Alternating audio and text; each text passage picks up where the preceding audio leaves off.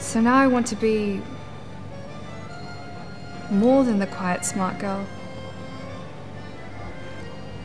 Is that sad? No. No, not at all. I mean, I wouldn't want to be the quiet, smart girl either. I mean, guy. no regrets.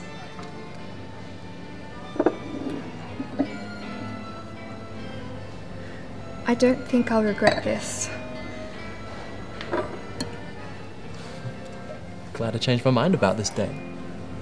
What? It's not your fault. You're morally incapable of doing the right thing.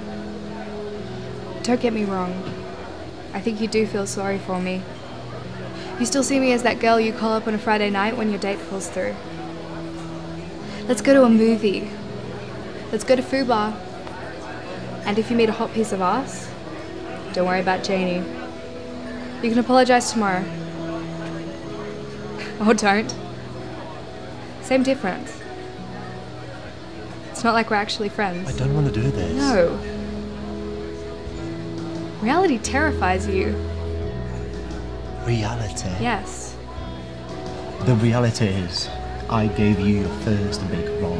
You wouldn't be here without me. God, thank you. Thank you for finally playing that card. I always knew you were holding on to it. Don't you ever pity me again.